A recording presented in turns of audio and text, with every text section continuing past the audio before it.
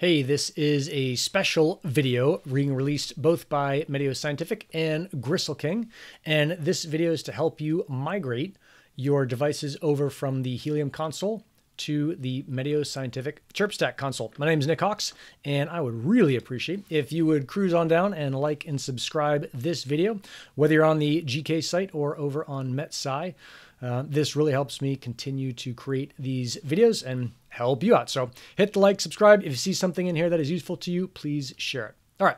So what we're going to do is we're going to migrate a device over from Helium Console to the MeteoScientific ChirpStack.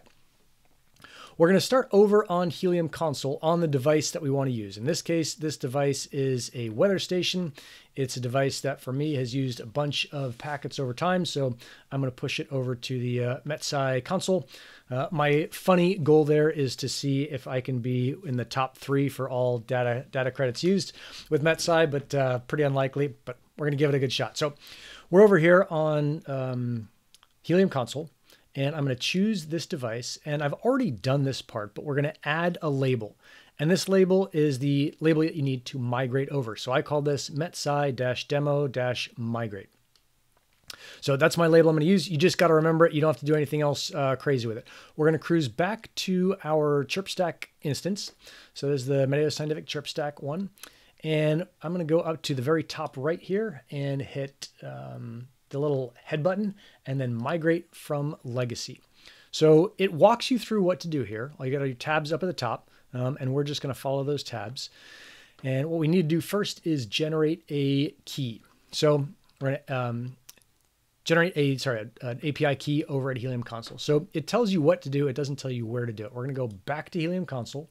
We're going to go up to the top right uh, to the My Account section here and we are going to generate a key. We're going to call this key name, this will be MetSci demo uh, console migration. So name it what makes sense to you. The key role is going to be administrator, and we're going to generate that key. I'm going to go ahead and copy and paste that key. Okay, so now you see it's created, but before this thing is activated, and you can see right here, it says that it is false. You have to go to your email, open up your email and you will see and activate your API key. You're going to hit a little blue button that says activate your API key. I know you can't see any of this stuff. That's totally fine. And that will bring you back to console and now your key is activated. So important step there, make sure that it says true right here. So once you have your key, you're going to cruise back to MeteoScientific. We've got our API key. We're going to copy it in here.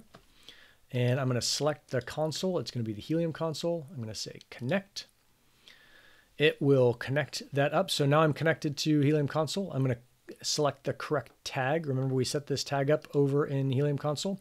It, mine was metsci-demo-migrate. So just make it super easy on yourself. And then it will say there's one device to be migrated. That's the weather station. The integration that we want to apply, we'll see if we can apply this uh, MeteoScientific Terabella.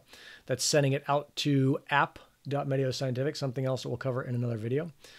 But for right now, we'll just see if we can get this thing to uh, work auto magically. I'm going to go select that function. It says function is ready. Great. I'm clicking that. I come back. It says select tenant. I want it to import into the MetSci demo account. I am going to go ahead and use US 915 over the air. So I, I selected the uh, correct one here. And uh, I don't have an application, so we're going to add a new application, a weather station. It S2120. There we go. Cool. And we'll hit select. And then we'll finally go down to device migration. And what should happen is selecting it to select the device to be migrated. So it's an S2120. I'm going to select that one. It's just double checking we've got everything right, the 915, etc., etc. I'm going to say go ahead and fire those guns, and we get a green check mark. So that should be it. And we know that we may need to power cycle it, so I may need to head out and uh, get that sucker running. But I will say that over on Helium console, and we go over here, and you'll see that it's not sending anything anymore, but it was sending uh, something every, it's a 20 byte packet, and it was sending it, geez, so 324, 22, 20, 18, every two minutes. We'll see if this thing pops up over on MeteoScientific. So that's how you migrate a, um, a device from Helium Console over to the MeteoScientific ChirpStack. Rock and roll.